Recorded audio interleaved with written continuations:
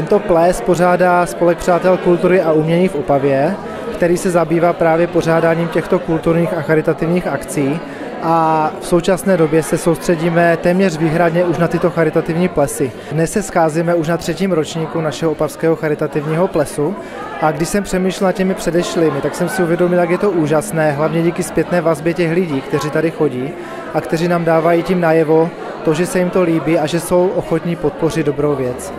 Pro letošní rok jsme si vybrali malého Míšu, což je dítě, které trpí onemocněním dolních končetin a má poměrně velké problémy s chůzí. Tím, že podpoříme právě jeho rehabilitace, tak si myslím, že je to velmi přínosné pro něho, aby ty kroky, které dělá teďka s obtížema, udělal třeba příští rok o něco lépe.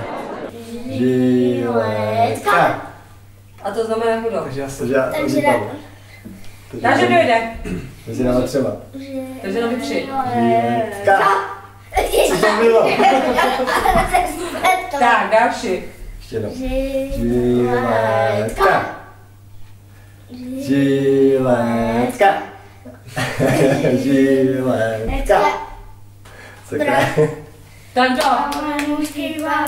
To Gáďa začíná. no. Tak Miša se narodil jedno, jedno z dvojčat, eh, narodil se velice brzy, narodil se ve 30. týdnu těhotenství.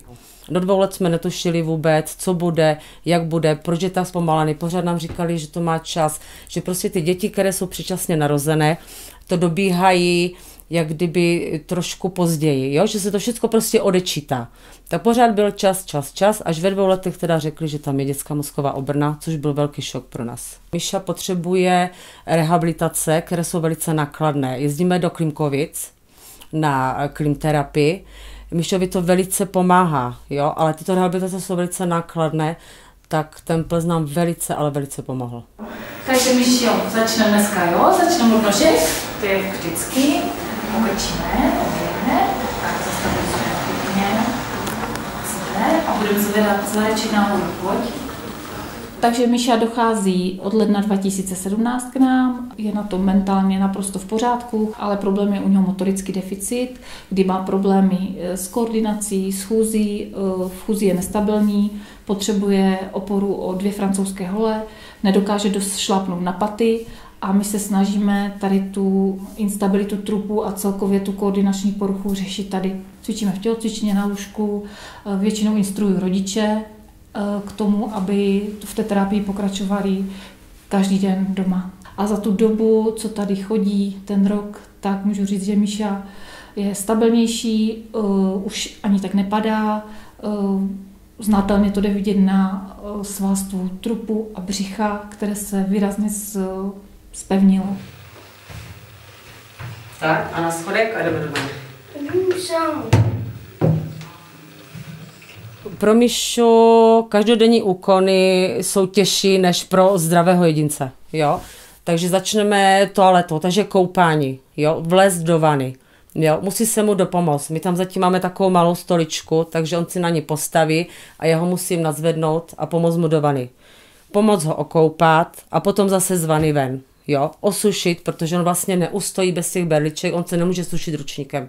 On se musí pořád něčeho držet. Neužijte vždycky z té vany, že? Tak, dobré. Pusme venku. Dále jsou to schody.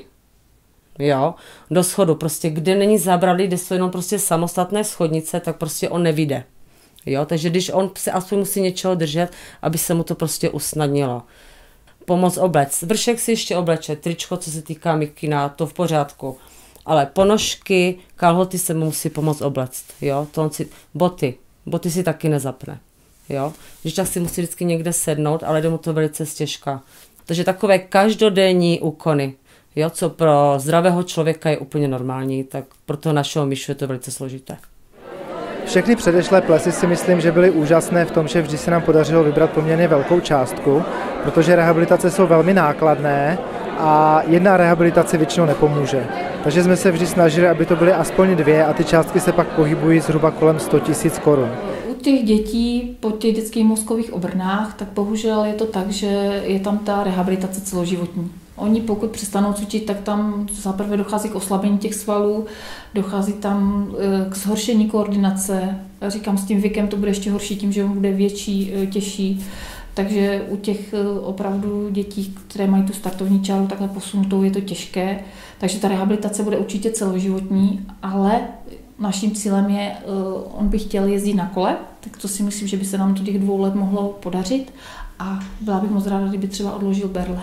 Jo, aby, ten, aby, ten, aby ta chůze byla samostatná, bez pádu a bez těch berliček. Takže doufám, že se nám to podaří. Předpokládáme, že i letos díky sponzorům, díky tomu, že přišlo více lidí, díky tomu, že máme i dotaci z města Opavy, tak se domnívám, že ta částka, kterou letos vybereme, bude o něco vyšší a že vyjde na dvě, možná i na dvě a půl, nebo třeba i na tři rehabilitace pro toto dítě. Chtěla bych poděkovat panu doktoru Hodcovi, kterému eh, patří velké díky za toto, protože měl to perfektně zorganizované, velice příjemný, my jsme byli perfektně přivítáni, chodilo se kolem nás na tom plese, no prostě všichni, bylo to prostě úžasné. Já věřím tomu, že je to věc, která bude dál do budoucna pokračovat a musím přiznat, že už máme termín na příští rok, a to konkrétně 16. února 2019.